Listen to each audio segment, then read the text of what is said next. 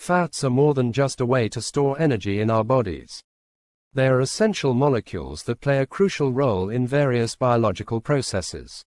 But how exactly does our body break down fat for energy? This process is known as fat catabolism, and it's a fascinating journey through our cellular machinery. Hello everyone, this is BioScholar. In this video, we will explore the process of fat catabolism, from its discovery to the detailed stages, and finally, its importance in our overall metabolism. To fully appreciate how we understand fat metabolism today, we need to go back to the early 19th century. During this time, a French chemist named Michel Eugene Chevreul was making groundbreaking strides in the study of fats. Chevreul's work focused on uncovering the composition and properties of various fats, laying the foundation for the future exploration of how these fats are processed in the body. Building upon the foundational knowledge established by Chevreul, the early 20th century saw a major breakthrough in understanding fat metabolism.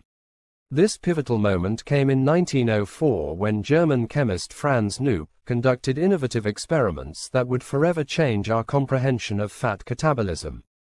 Knoop's experiments involved feeding dogs fatty acids with specific chemical markers, allowing him to trace the metabolic journey of these fats in the body.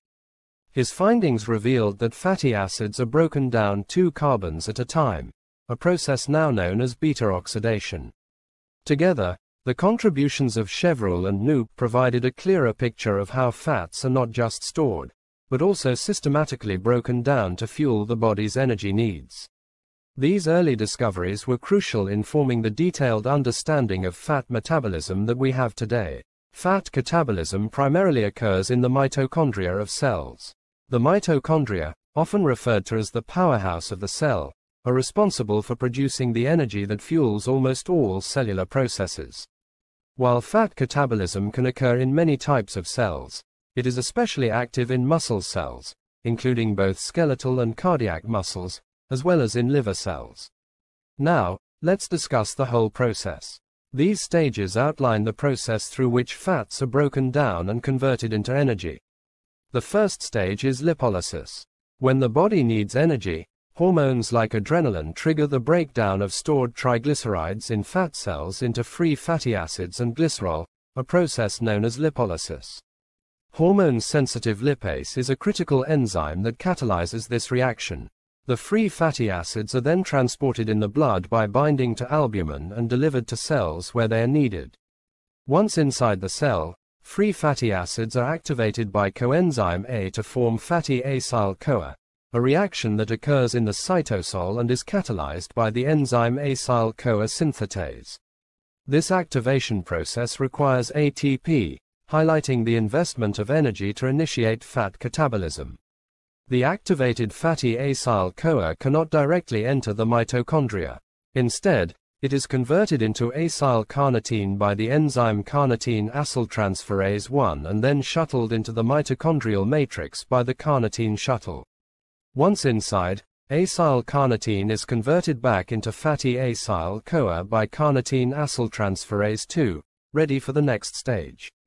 In the mitochondrial matrix, fatty acyl-CoA undergoes beta oxidation, a series of reactions that sequentially cleave two carbon units from the fatty acid chain, converting them into acetyl-CoA. The process begins with the oxidation of the fatty acyl-CoA molecule.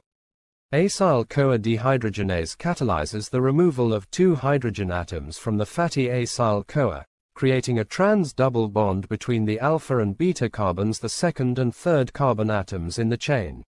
This oxidation step results in the formation of trans-delta-2-enoyl-CoA and produces FADH2, a high-energy electron carrier that later contributes to ATP production in the electron transport chain.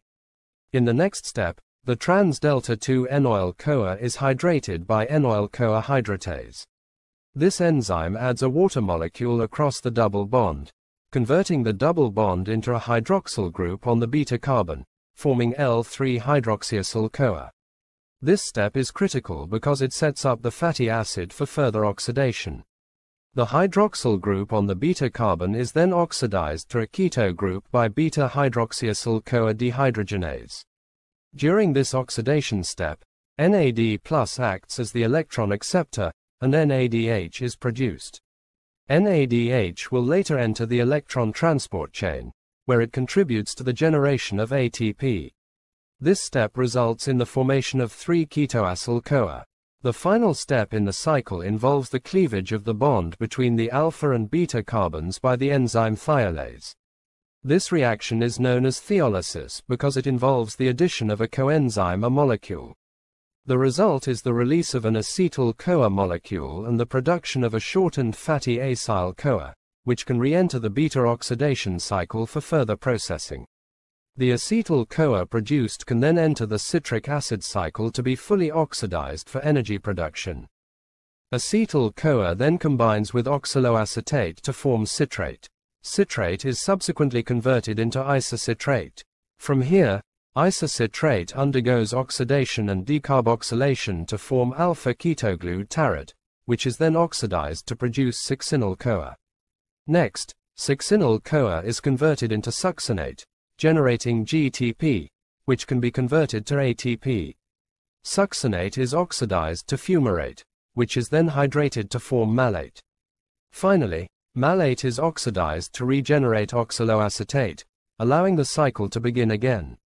Throughout this process, the cycle produces three NADH molecules, one FADH2 molecule, and one GTP per turn, which are critical for ATP production in the electron transport chain.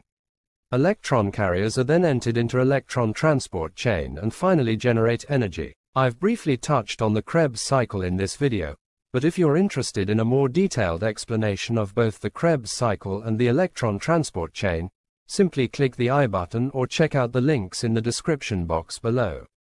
Now, getting back to the topic at hand, fat catabolism. From the complete oxidation of a single molecule of palmitic acid, which is a common fatty acid, the cell can generate up to 106 molecules of ATP. This impressive energy yield underscores the efficiency of fat as a fuel source. Before wrapping up, let's take a moment to appreciate the importance of fat catabolism. This process is a crucial source of energy, especially during prolonged exercise, fasting, or when carbohydrate stores are low. Fat provides more energy per gram than carbohydrates or proteins, making it an incredibly efficient way to fuel the body. The ability to switch between carbohydrate and fat metabolism allows the body to adapt to varying energy demands and dietary conditions, ensuring a continuous supply of energy no matter the circumstance. In summary, fat catabolism is a multi-step process that converts stored fat into usable energy. It begins with the mobilization of fats, followed by their activation and transport into the mitochondria, and culminates in beta oxidation and the production of ATP. Understanding fat catabolism not only highlights the complexity of our metabolic processes but also underscores the importance of maintaining a balanced diet and engaging in regular physical activity to keep our energy levels in check and promote overall health. That's it for today's video. My next video will be on the urea cycle, so stay tuned. I hope you learned something new today. If you did, don't forget to like, share, and subscribe to Bioscholar. I'll see you in the next video.